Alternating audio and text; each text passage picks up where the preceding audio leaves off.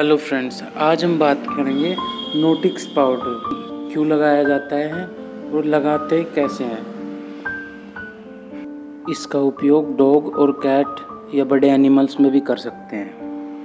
पहले तो हम ये बात करेंगे कि, कि क्यों लगाया जाता है। तो कुत्ते के बालों में देखोगे चीचड़े कलीले पिस्सू जो मिए में होते हैं कि ये हो रहे हैं तो इसलिए लगाए जाते हैं नोटिक्स पाउडर।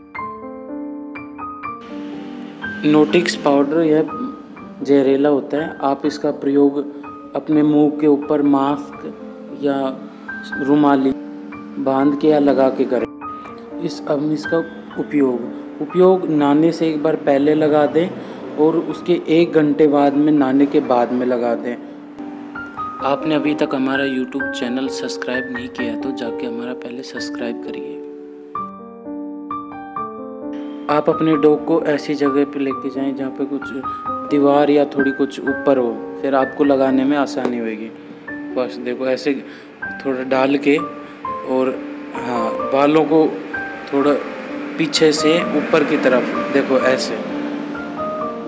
ऐसे करके धीरे धीरे, थोड़ा थोड़ा थोड़ा थोड़ा, ऐसे पूरे शरीर पे जहाँ पे, देखो, यहाँ ऐसे लगा दिए, पीछे की तरफ़ लेके जाके और इसके, देखो, यहाँ पे। इसकी नाक के ऊपर मत डालना और आँखों के ऊपर मत डालना। बाकी पूरे शरीर पे लगा देना। टिक्स भी धीरे धीरे धीरे धीरे उतर जाएँगे एक डेढ़ घंटे में ही। जहाँ पे देखो, अब यहाँ पे थोड़ा हाथ में लेके, और यहाँ पे नीचे कई बार जैसे नीचे रह जाते हैं, या देखो पैर के पास में कई बार बहुत इश्यू होता है कि यहाँ पे नहीं लग पाता। तो ऐसे थोड़ा लेके और ऐसे लगा दो। देखो।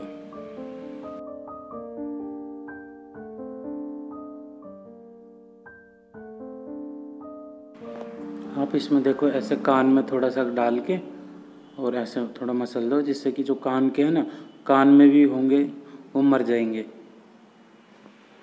दूसरे में भी। और नाक का और आँखों का विशेष करके ध्यान करके उनमें मत डाल देना, प्रॉब्लम हो सकती है। प्लीज़ वीडियो को लाइक और सब्सक्राइब कर दो।